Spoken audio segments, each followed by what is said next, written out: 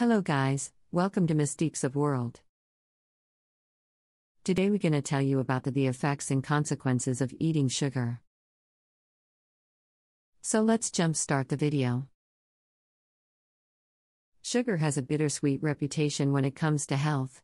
It occurs naturally in all foods that contain carbohydrates such as fruits and vegetables, grains, and dairy.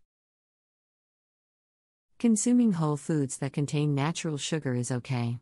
Plant foods also have high amounts of fiber, essential minerals, and antioxidants, and dairy foods contain protein and calcium.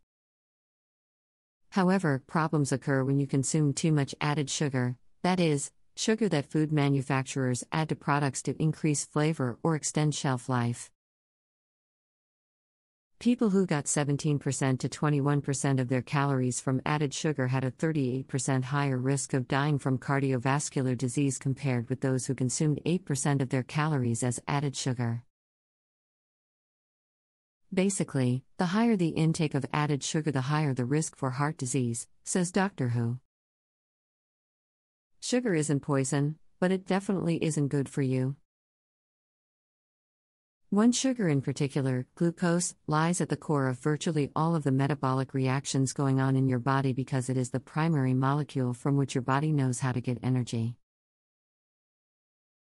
Adding extra sugar to your diet can put you at a high risk of several heart disease by leading to high blood pressure, obesity, and inflammation. A diet high in added sugar stimulates the liver to release more harmful fats into the bloodstream. The American Heart Association is suggesting men consume no more than 9 teaspoons a day. For women, the recommendation is a maximum of 6 teaspoons. Sugar fuels every cell in the brain.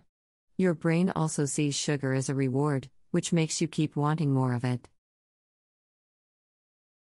If you often eat a lot of sugar, you're reinforcing that reward, which can make it tough to break the habit.